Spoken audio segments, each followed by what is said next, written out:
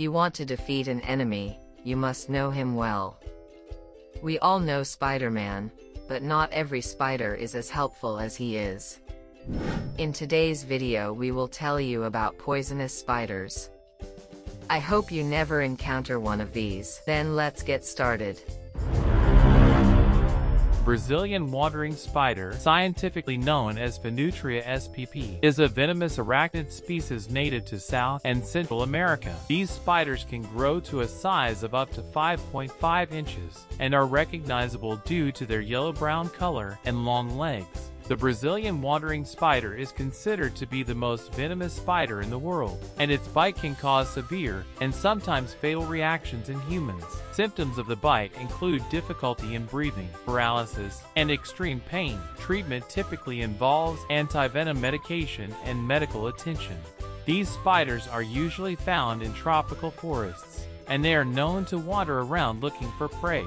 To protect themselves, they usually hide inside logs, shoes, and clothes. Fortunately, these spiders are not aggressive and will only bite when provoked or threatened. It is important to be aware of these spiders if you are traveling to South or Central America, as the risk of being bitten remains present. If you spot one of these spiders, it's best to remain calm and contact the authorities for help. The Sydney funnel web spider is a species of highly venomous spider native to eastern Australia. It is considered one of the most dangerous spiders in the world due to its highly toxic venom and aggressive behavior. The spider has a unique, funnel web web that it builds to catch prey. It is typically brown in color and has a black body with red or brown legs. The Sydney funnel web spider is relatively large, with a body that can reach up to 5 centimeters in length. It is mostly active during the night and is usually found in dark, moist, sheltered places like logs and burrows. The spider is known to be very aggressive and will bite if disturbed. Its venom is potentially lethal, which is why it is important to seek medical attention immediately if bitten.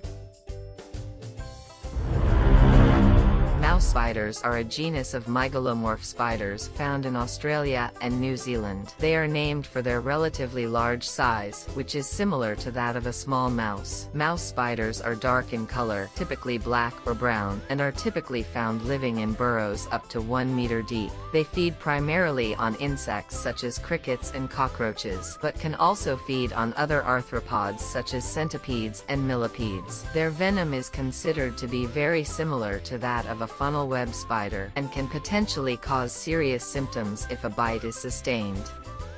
However, because of their relatively small size and the fact that they are rarely encountered, mouse spiders are not considered to be a high risk to humans.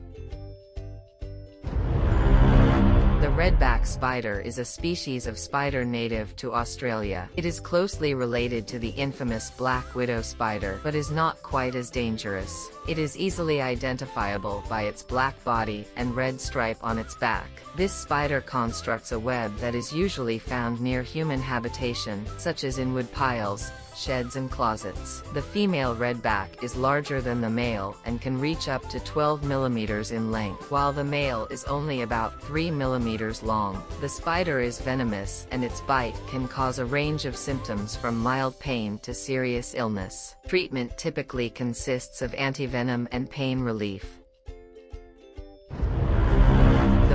Widow spider is a species of spider native to Africa, but recently introduced to the United States. The body is slender and elongated, and the carapace is typically dark brown. The hourglass-shaped marking on the underside of the abdomen is yellow or orange and is unique to the species. Brown widows are not as dangerous as their more well-known relatives, the black widow, and usually only bite if provoked. Their venom is usually not serious and can result in minor muscle muscle cramps and pain. Brown widows typically live in abandoned buildings or other man-made structures, like window frames and garages.